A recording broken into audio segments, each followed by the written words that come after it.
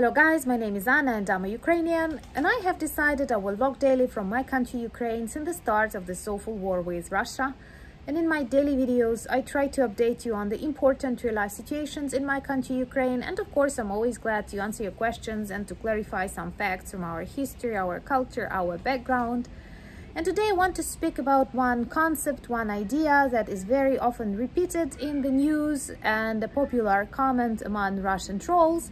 These are Russian referendums in Ukraine that were held or are planned to be held in uh, various so-called republics like DNR, LNR. Now they want to organize something similar in uh, Kherson region, in Donetsk region and so on.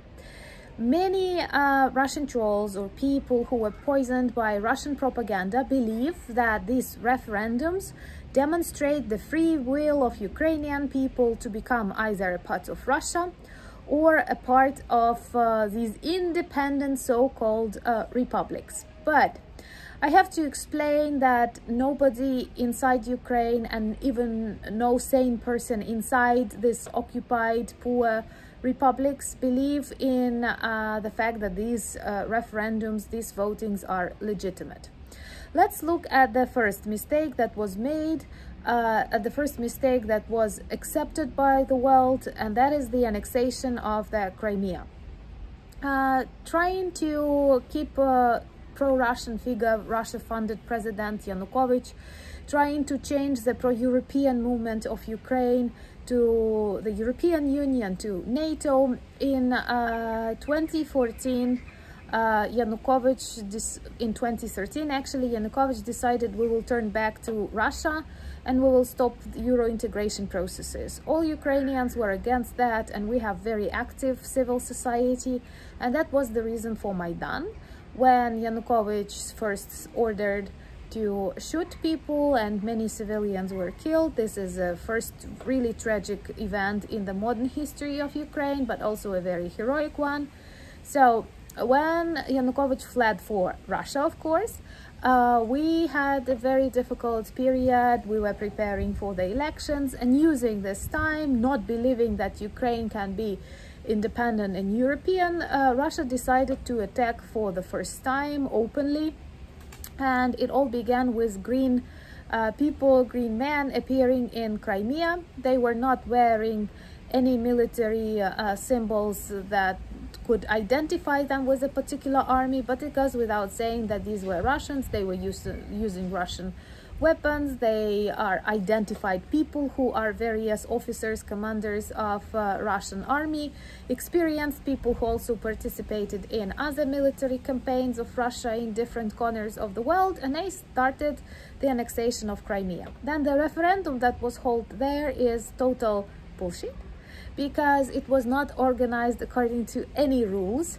Uh, it was just one question and people were surrounded by the military with, you know, machine guns and all of that. And I don't think this is a typical image of a referendum that you have in your head. So uh, this was a choice without a choice.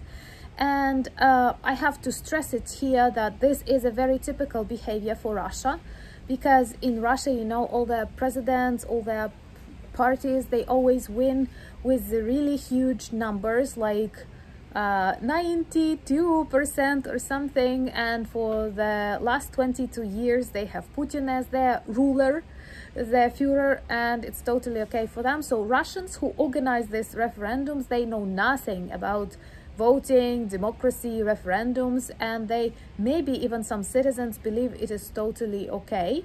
I think that this diagnosis goes back and dates back to the times of uh, communism and Soviet Union when we had like only one party and uh, like that's the choice that you have uh, to make no other uh, options so people feel really happy in Russia not to have a choice and uh, like freedom is treated as uh, a problem. And uh, in Ukraine it is just the country and I don't know why is it so because we lived together very close to each other for hundreds of years and Ukrainians are always free spirit people and Russians always want Tsar.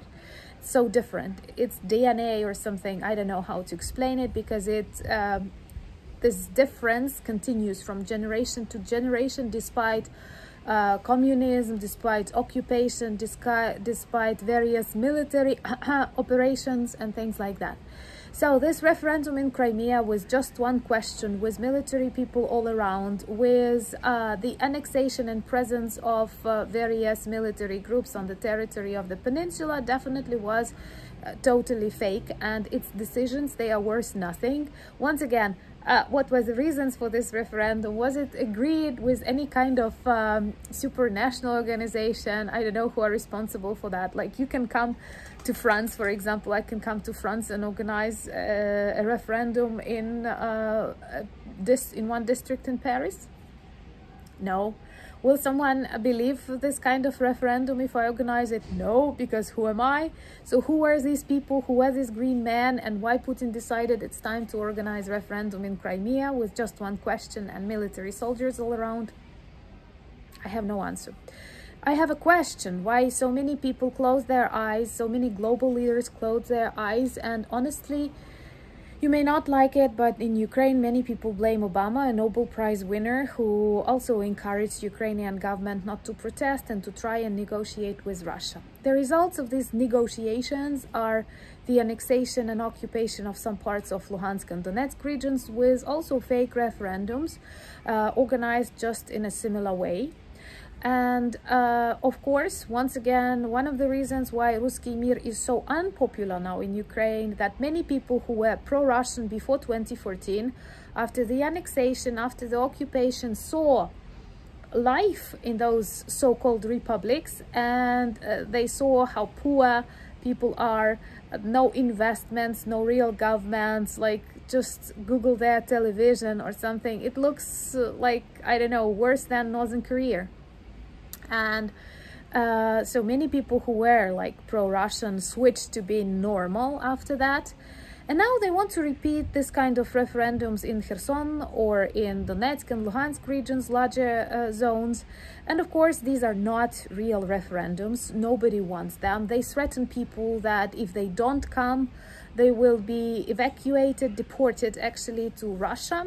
So they give motivation, you know, to vote for this fake republic. So far, they still have doubts whether they want to uh, pronounce them independent or to make them join Russia. Uh, I personally think that uh, they might want them to join Russia because they feel that these independent republics are not like um, capable of living or creating any kind of positive image. So they will perhaps try to imitate and manipulate the opinion that people of uh, Kherson uh, want to be a part of Orkland. Definitely it is not that way. And uh, that might be um, a serious uh, problem for them because people, civilians and soldiers protest. And I'm sure we will get Kherson back quickly.